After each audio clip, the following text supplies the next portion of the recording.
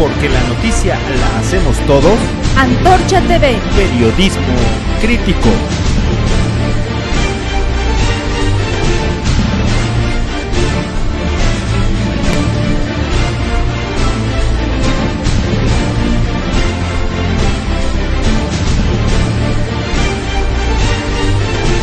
Antorcha TV. Periodismo crítico. ¿Qué tal cómo le va este miércoles 11 de mayo de 2011? Estamos a mitad de semana y es un gusto que nos acompañe en una emisión más de Antorcha TV con la información más importante. Luego de varios compromisos adquiridos por las Secretarías de Gobernación y Desarrollo Social, los cuales nunca se concretaron, hoy el antorchismo nacional se manifestará para que se cumpla la palabra empeñada. Esta es la información.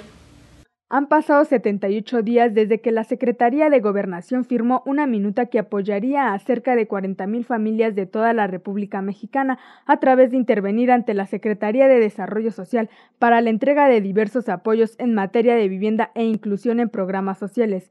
Después de 11 semanas, los compromisos no se cumplen y los apoyos no llegan a las familias que lo necesitan. Ante el vencimiento del último plazo, el movimiento antorchista anunció la reactivación de sus manifestaciones debido al incumplimiento tanto de Francisco Blake Mora como de Heriberto Félix Guerra. Tenemos todos los elementos y toda la autoridad moral y política para decir abiertamente, públicamente, que son unos incumplidos y unos demagogos.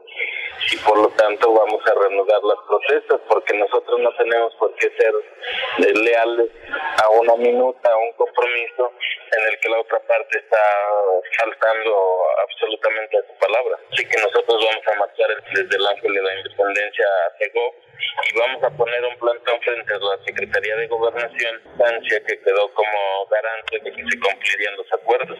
Parte del universo de compromisos signados el pasado 22 de febrero comprende que la Secretaría de Gobernación y Cedesol debían entregar los apoyos sociales rezagados desde el año pasado. Además, daría cabida en ventanillas de manera expedita a los trámites de las peticiones de este año, así como la solución definitiva a las demandas del antorchismo hidalguense.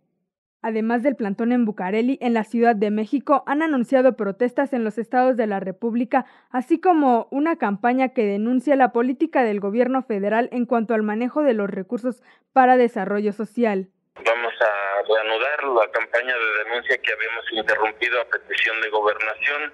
A ellos les molestan muchos algunos espectaculares que hemos colocado en el país diciendo que miente el secretario de Desarrollo Social y que es un mentiroso, pero esa es la pura verdad. Así que nosotros la vamos a reanudar. ¿Cuándo la vamos a suspender? Cuando cumplan su palabra. El incumplimiento de ambas instancias del gobierno federal, de acuerdo con el líder antorchista, está afectando a 20.000 familias que esperan ser apoyadas con los programas de vivienda desde hace un año, además de 20.000 más que comprenden las solicitudes en lo que va de 2011. Estamos hablando de cerca de 40.000 familias que están pues bailando en cuanto a sus necesidades elementales de vivienda.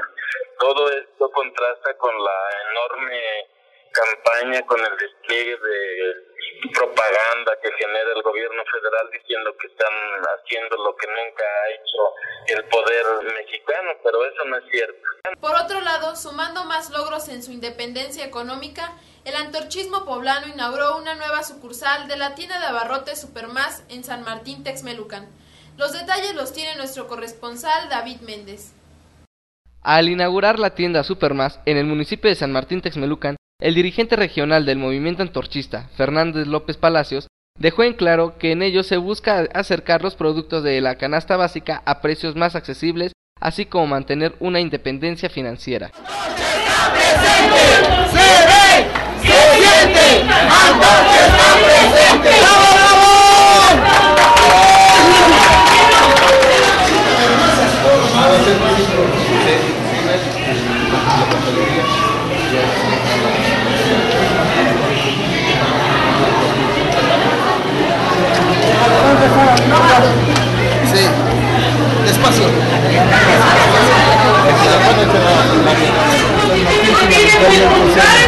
Las dos colonias, la Margarita Morán, la colonia La Libertad, bueno, esta tienda de servicio que va a ser muy importante la,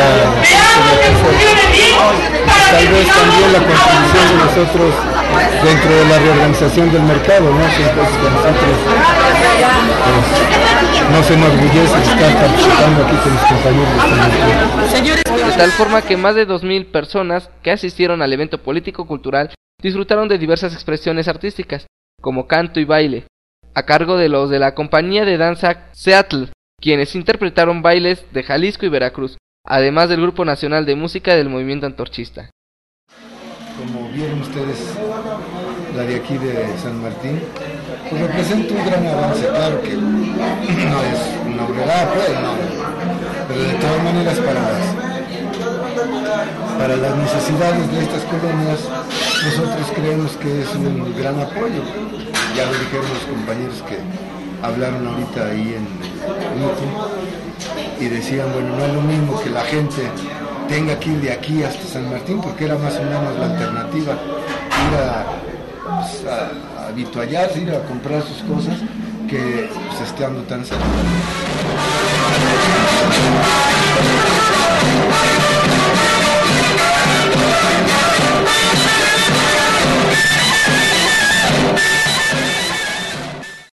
Celis Aguirre resaltó que este es un servicio más que lleva el antorchismo a las colonias más marginadas, al tiempo de reiterar que con el nuevo Supermas, el movimiento antorchista muestra que genera sus propios recursos para poder sostenerse, ya que no recibe de ningún partido o estancia gubernamental dinero alguno.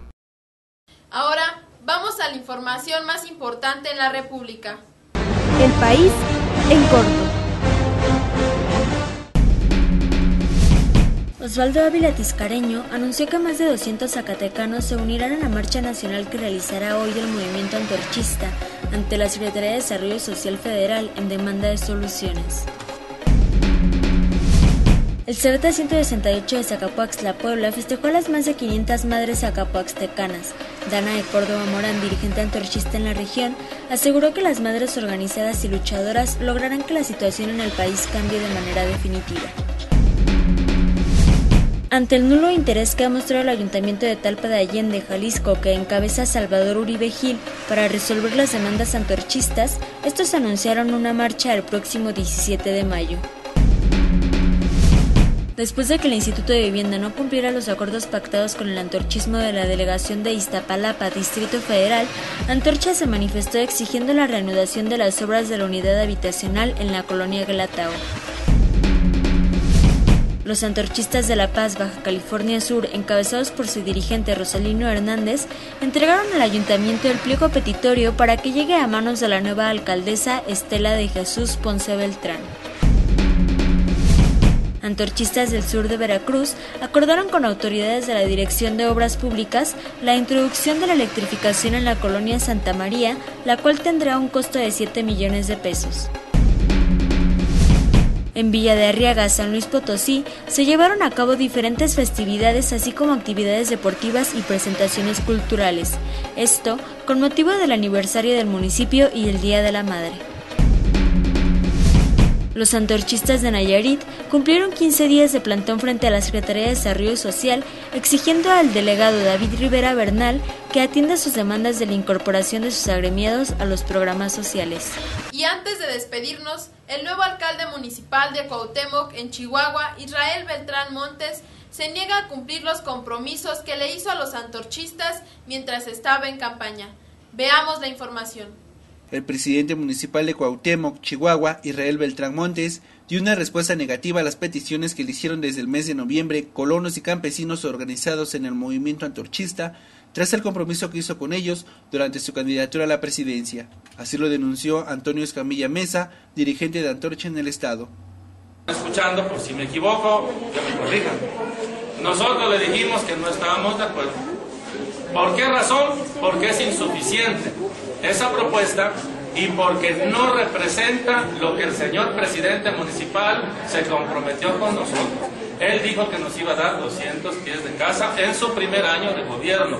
Fue un compromiso que él hizo, no solamente con el Inge Ventura y conmigo, sino que en un mitin, repitan los alcaldes, eso nos dijo a todos, en un mitin cuando era candidato. Los antorchistas manifestaron que ellos ya cumplieron por su parte, pues entregaron toda la documentación que fue solicitada por la Secretaría de Desarrollo Social Federal, con lo que solo se concede 20 casas con un precio de 116 mil pesos, de lo cual los beneficiarios solo pagarían 12 mil, pero esto nunca se cumple en los hechos. Pues solo se aprueban compromisos, pero ninguno se lleva a los necesitados. Siempre y cuando cumplamos con la normatividad de Cedesol Federal, porque ponen, subrayan mucho eso, se le conceden a través de la organización a 20 compañeros, no pies de casa, sino casas completas de un valor de 116 mil pesos a un costo de 12 mil y que la gente únicamente tiene que pagar, según nos dijeron, 12 mil pesos, pero solamente son 20.